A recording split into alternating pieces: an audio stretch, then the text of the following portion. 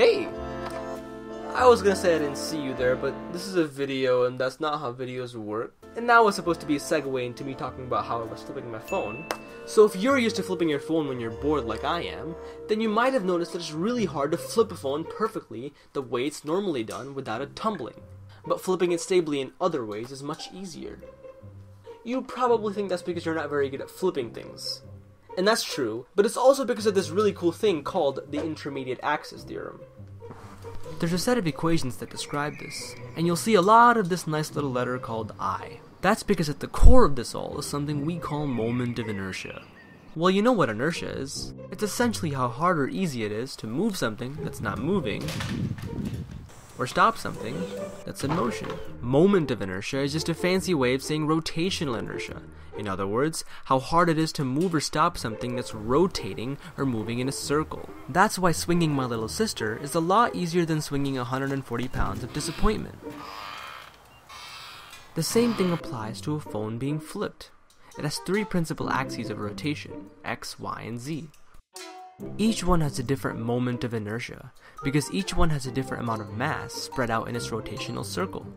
So, if you were to rotate the phone about its intermediate axis, which has the intermediate moment of inertia, you would need just the right amount of intermediate force to rotate it. And that is the axis of instability. To understand why, take a fidget spinner and spin it in three different ways. Now since this one has the most mass while rotating it with all its bearings, it has the highest moment of inertia, and it's stable.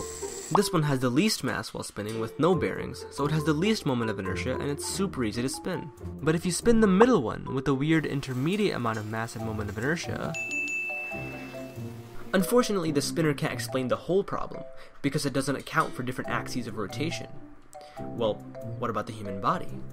We can rotate on the z-axis just fine, and same with the x-axis. But when you're rotating on the y-axis, essentially doing a cartwheel, you have to maintain a level of balance by putting in the perfect amount of velocity only in the forward direction. As soon as you move even a little bit from a straight path, you start to lose your balance, and that snowballs into you tumbling in all sorts of weird ways. The equations support this. If you solve the equation for the angular velocity in, let's say, the x direction, you end up with a second derivative that proves an exponential relationship. That's just a really fancy way of saying that even a little angular velocity in a direction you don't want to rotate towards makes you exponentially start moving towards that direction. So yes, in theory, you can flip a phone stably about its intermediate axis, but it has to be a virtually perfect spin. See ya.